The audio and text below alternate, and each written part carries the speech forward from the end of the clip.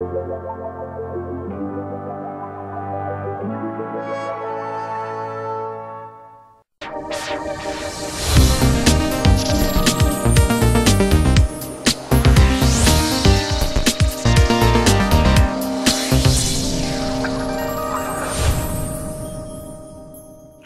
Croiso. Welcome back to the Cymru Nerd Cave. Hope you're all doing well.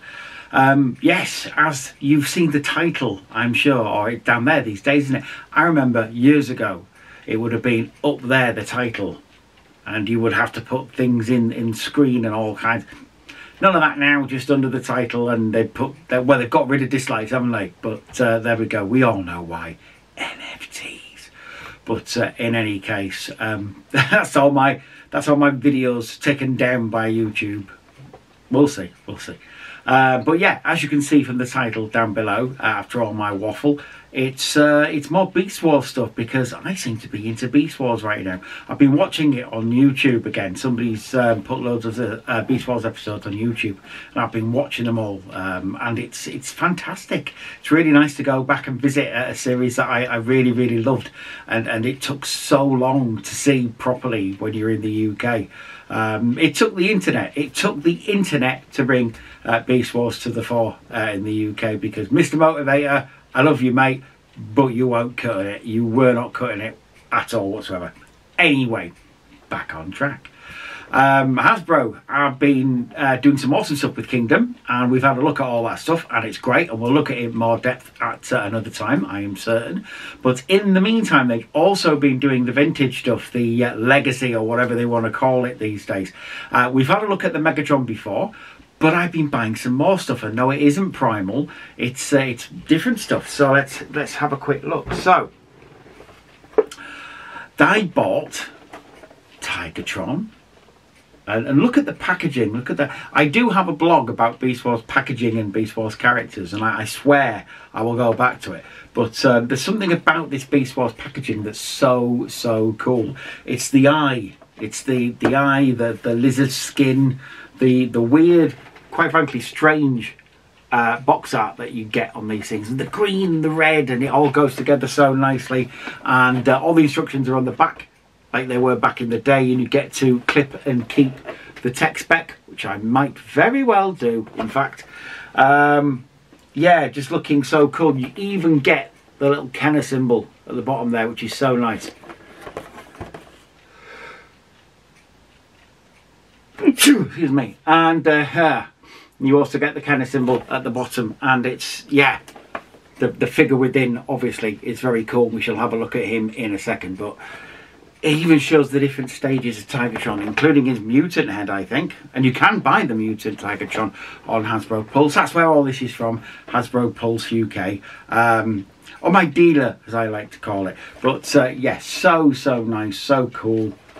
Shows you all the different stages of everything. And does it have robot points? They used to have robot points, but no. It does say where the secret weapon resides, though which is very nice. That's Tigatron anyway. We'll have a look at him in a second. I did break and get Cheetor. I had Cheetor. Uh, he was one of the first Beast Wars toys I had, him and Airazor. And, um, oh, I forget, Bone Crusher. They had Bone Crusher the Bison one. But I did get uh, Cheetor from Argos back in the day. And, uh, yeah, oh, it's so nice to have Cheetor back. Really, really nice. Again, some really good box art on the front. I don't think that's the original box art he would have had. I think that's box art after the fact. I could be wrong. Uh, but again, stuff on the back. Really, really nice. Just looks good. Lovely stuff. Really, really enjoy the Beast Wars packaging. I might be keeping it. I'm not sure. Uh, I'm certainly keeping some of it but we shall see. And I also got Rattrap because I've never had Rattrap. He's one of my favourite characters in all of Transformersdom, and I never owned an original Rattrap. But he's really easy to transform because he's one of the one-step changes. You basically flick his tail up and he just transforms.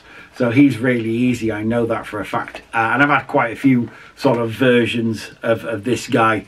Uh, Snarl was one of them, wasn't he? Um, and, and quite a few others. Um, really, really good though. I think even Insecticon, good old Insecticon here. Second time he's appeared on camera. I will do a, a full review of this guy because he's cool. But he's basically the Predacon version of that as well, one step changer.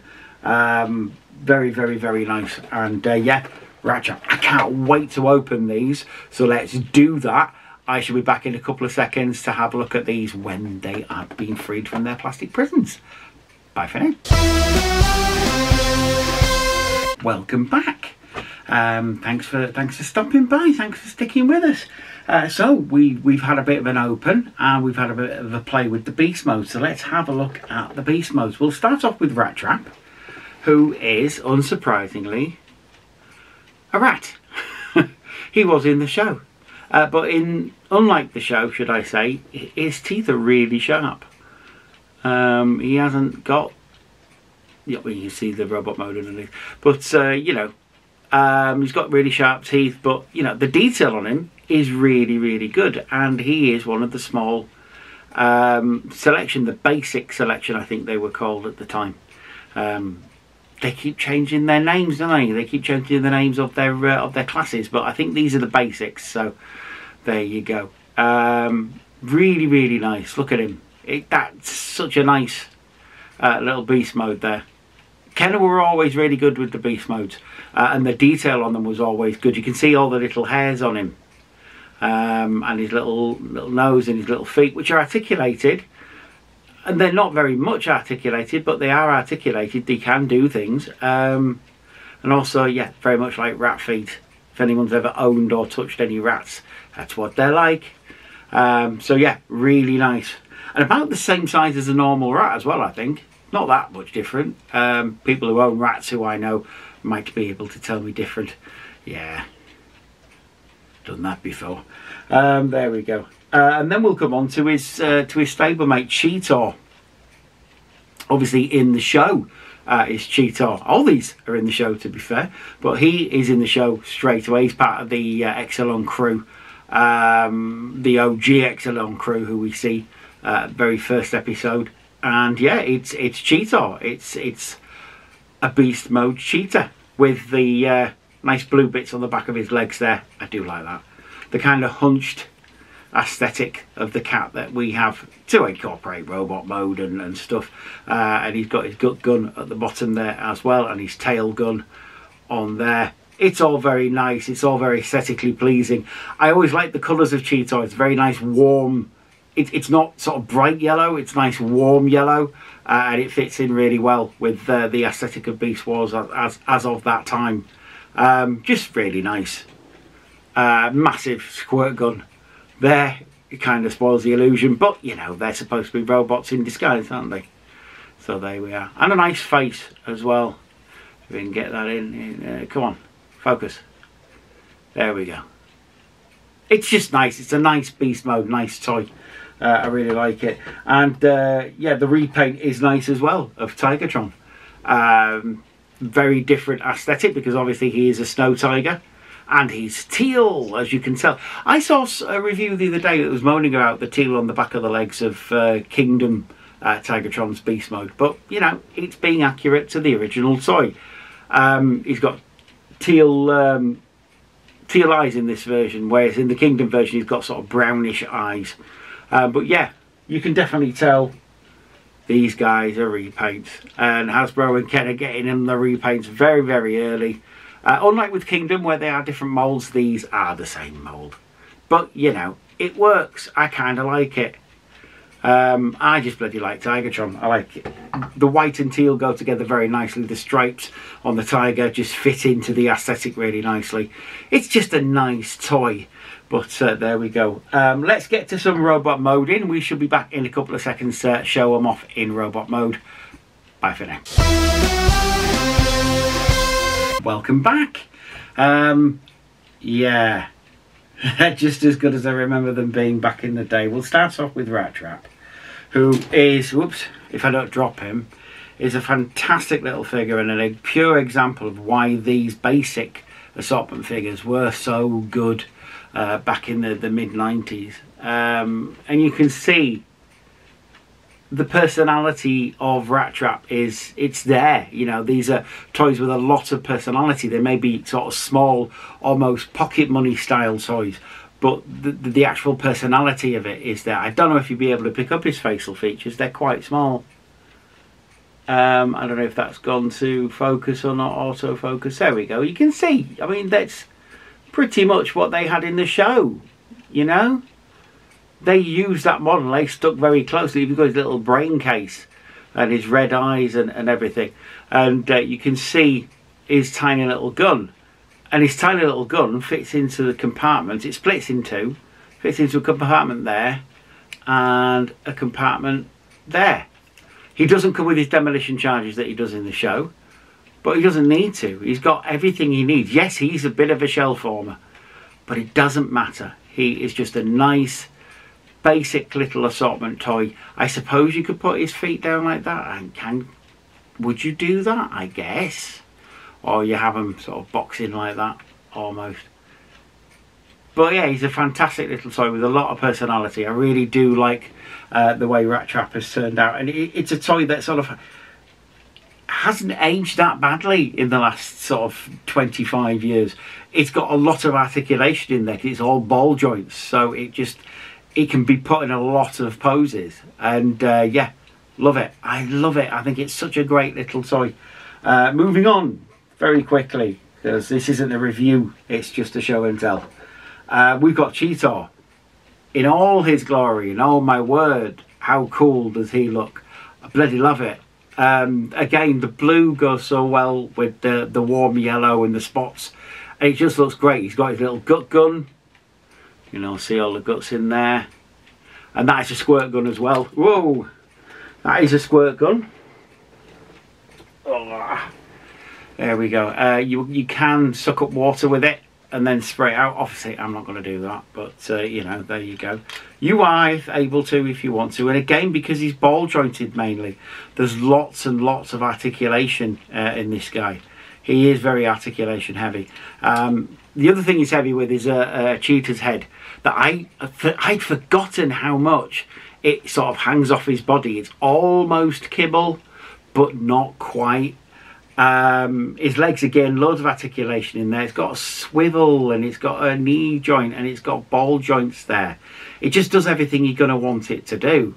It isn't a brick, you know. I, I sort of thought it might be a brick because uh, it's been a long time since I've handled any of these sort of Beast Wars toys, but no, absolutely brilliant.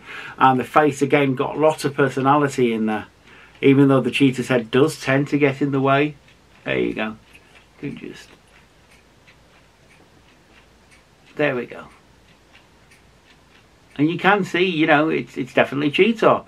And also, he's got his mutant head, which is the head that is now being used with Shadow Panther. So, you know, they haven't forgotten this.